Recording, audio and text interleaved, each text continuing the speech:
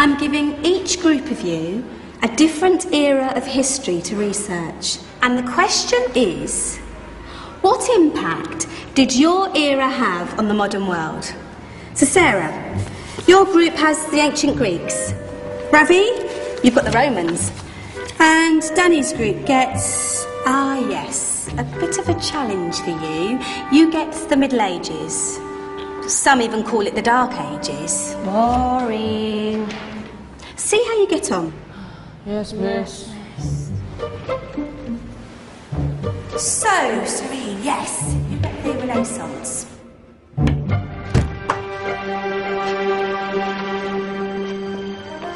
Is that the librarian? I guess so. How are the Dark Ages going to have anything to do with us?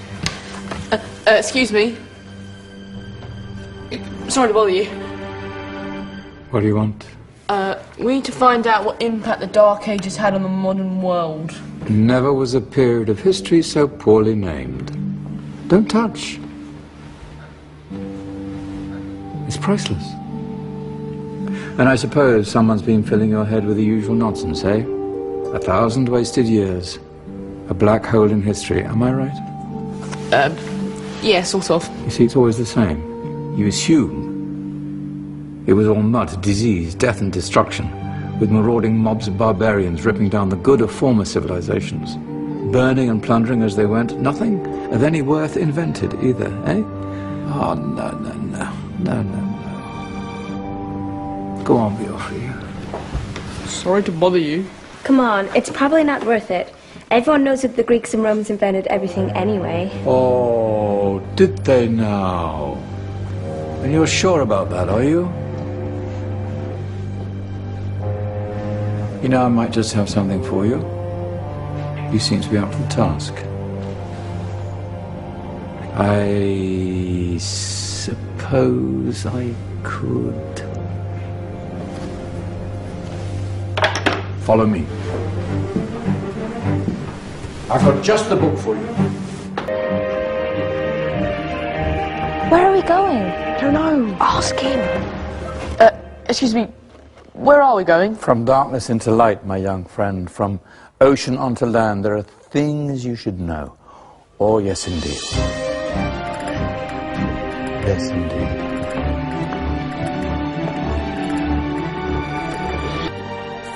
Now, take a look. If you dare.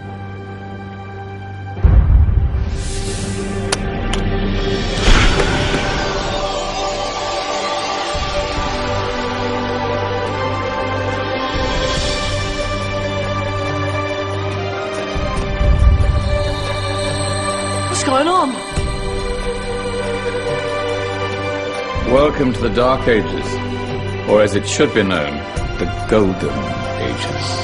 Who are you? I am Al Jazari, engineer and ingenious inventor. I thought you said this was the Dark Ages. It doesn't look very dark. That's because it's all a matter of perspective, my soon to be illuminated friend. Of course, there are parts of the world that weren't dark at all, but in a civilization that stretched from Spain to China, the golden rays of discovery and invention shone over everything. What civilization? The Muslim civilization, my young friend. Through scholars and scientists of various faiths, some of the most important discoveries known to man were made at this time. Discoveries that drew on knowledge of the ancients, but have more connections with your modern world than you could possibly ever imagine. Like what? Well, all sorts of things. I've got to get a picture of this.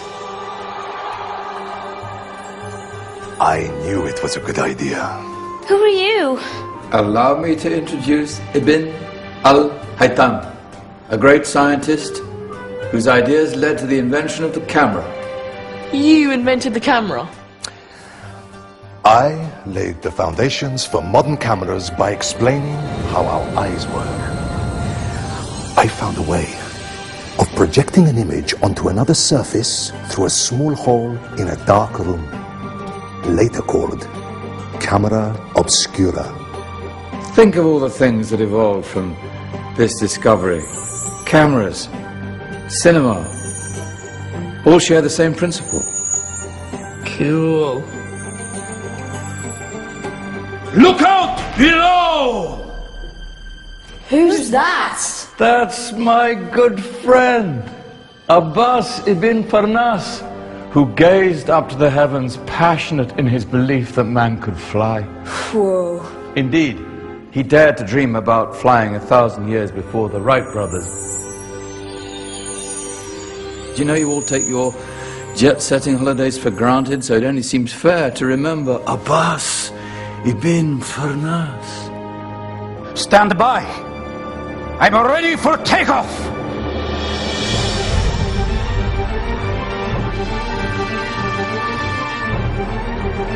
Oh, oh,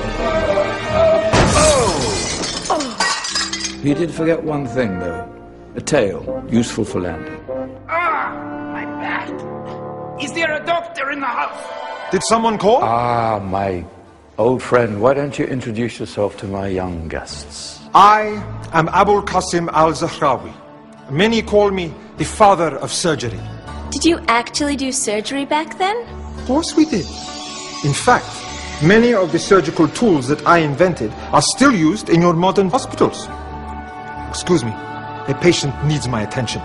Scalpel? I think I may need some stitches. In that case, I'll use catgut Catgut? from the gut of animals. Perfect for stitching up internal wounds. Your surgeons are still using it today. Sorry, mustache.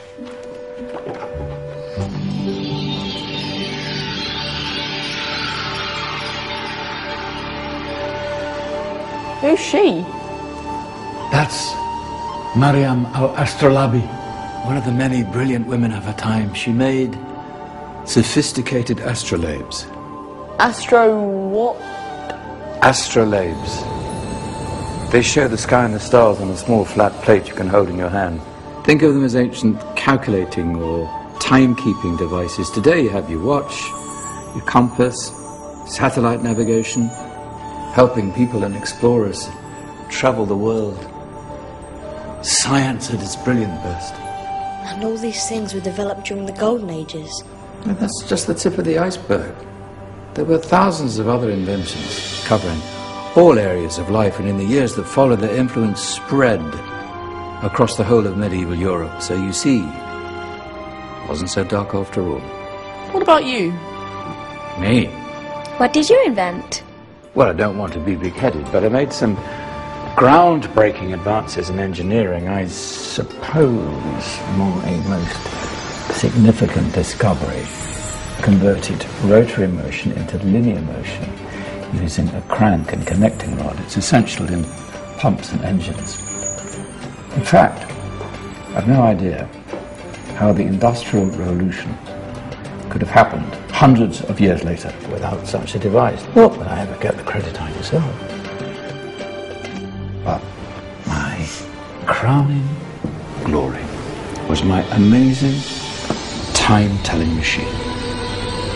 My legendary elephant clock.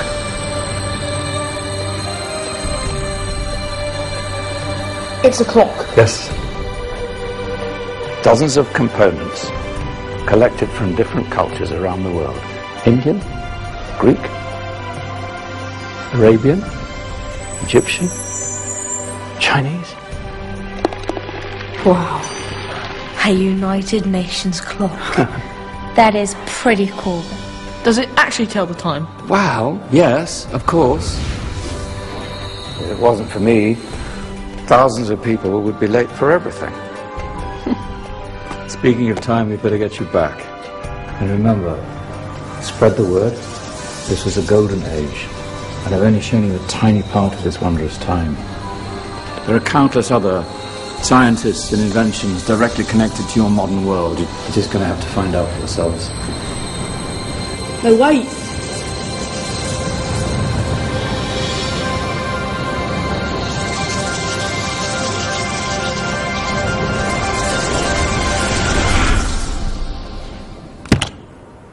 Whoa. Did you? Yeah. That wasn't quite so boring. Come on, we're gonna be late.